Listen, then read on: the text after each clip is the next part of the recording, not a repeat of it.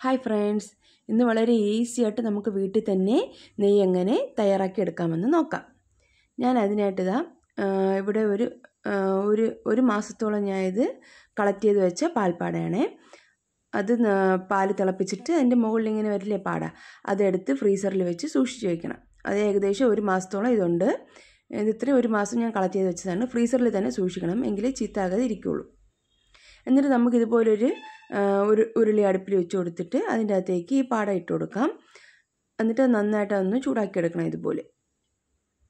ഇടയ്ക്കിടയ്ക്ക് ഇങ്ങനെ നമ്മൾ ഇളക്കി കൊടുത്താൽ മതി. ഇതൊരു നാൽപ്പത്തഞ്ച് മിനിറ്റ് ആയിട്ടുണ്ട്. ഈ നെയ്യൊന്ന് ഉരുകി വരാനായിട്ട്. അപ്പോഴപ്പോഴായിട്ട് ഒരു അഞ്ച് മിനിറ്റ് ഇടവിട്ട് ഇങ്ങനെ ഇതുപോലെ ഇളക്കി കൊടുത്തുകൊണ്ടിരിക്കണം.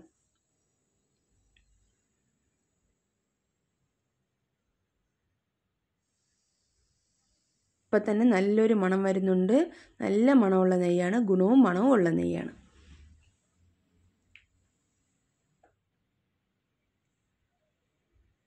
ഇതുപോലെ നമ്മളിങ്ങനെ ഇളക്കി കൊടുത്തുകൊണ്ടിരിക്കണം ഇതുപോലെ ചെറിയ ബബിൾസൊക്കെ വന്ന് തുടങ്ങും. പിന്നെ ആ വെള്ള കളർ വൈറ്റ് പോർഷനൊക്കെ മാറിയിട്ട് ഇതുപോലെ ഒന്ന് ബ്രൗൺ ആയി വരും.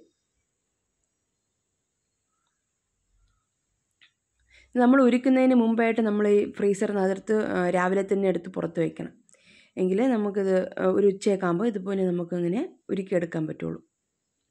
ഇല്ലെങ്കിൽ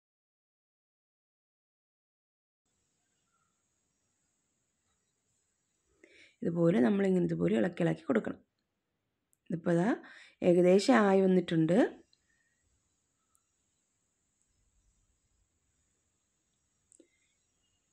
ഈ വീഡിയോ ഇഷ്ടമായ ലൈക്ക് ചെയ്യാനും ഷെയർ ചെയ്യാനും കമന്റ് ചെയ്യാനും മറക്കണ്ട. സബ്സ്ക്രൈബും ചെയ്യണം. നിങ്ങളുടെ ഫ്രണ്ട്സിനും റിലേറ്റീവ്സിനൊക്കെ ഈ വീഡിയോ ഷെയർ ചെയ്ത് കൊടുക്കണം. ഇവിടെ നമ്മുടെ നെയ്യ് ഇവിടെ റെഡിയായി വന്നിട്ടുണ്ട്. ഇതുപോലെ ബബിൾസ് ഇത്രയും വരണം. എന്നിട്ട് ആ വൈറ്റ് പോർഷനൊക്കെ കംപ്ലീറ്റ് മാറി ഫുൾ ബ്രൗൺ കളറായി മാറണം.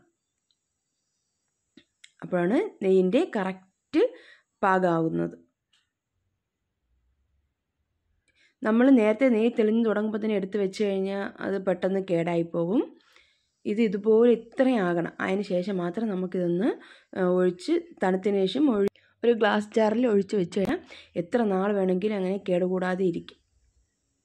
അപ്പോൾ എല്ലാം നല്ല റെഡി ആയിട്ടുണ്ട്. ഇത്രയും ബബിൾസ് വരണം. അപ്പം നെയ്യിപ്പം കറക്റ്റ് പാകമായിട്ടുണ്ട്. നമുക്കിനി ഫ്ലെയിം ഓഫ് ചെയ്യാം.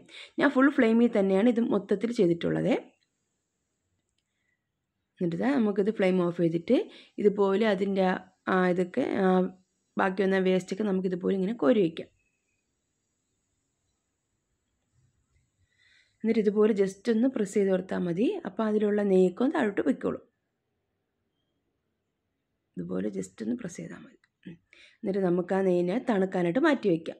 നന്നായിട്ട് തണുത്തതിന് ശേഷം നമുക്ക് വീണ്ടും വേറൊരു ചെറിയൊരു അരിപ്പ് വെച്ചിട്ട് നമുക്കൊരു ഒരു ഗ്ലാസ് ജാറിലോട്ട് തന്നെ നമുക്കിത് മാറ്റി വയ്ക്കാം ഇതുപോലെ ചെറിയൊരു അരിപ്പ് വെച്ചിട്ടുണ്ട്. ഇനി ചെറിയ എന്തെങ്കിലും പൊടിയൊക്കെ ഉണ്ടെങ്കിൽ പോകാനാണ് ഇങ്ങനെ ചെയ്യുന്നത്. ഇതുപോലെ ഒരു ചെറിയൊരു അരിപ്പ് വെച്ചിട്ട് നമുക്ക് എല്ലാം ഇതുപോലെ കോരി മാറ്റി വയ്ക്കാം കുറേ നാൾ കേടുകൂടാതിരിക്കും. ഒന്നും ചെയ്യില്ല. നല്ല മണമാണ്. നല്ല ടേസ്റ്റുമാണ് ഇത് കുട്ടികൾക്കൊക്കെ നമുക്ക് വിശ്വസിച്ച് കൊടുക്കാം. വളരെ ഹെൽത്തി ആയിട്ടുള്ള നെയ്യാണിത്. ഒരു പാടൂരെ പെട്ടെന്ന് എടുക്കാൻ പറ്റുന്നതാണ്. എല്ലാവരും ഇതുപോലെ തയ്യാറാക്കി നോക്കൂ. തീർച്ചയായിട്ടും ഇഷ്ടപ്പെടും. Thanks for watching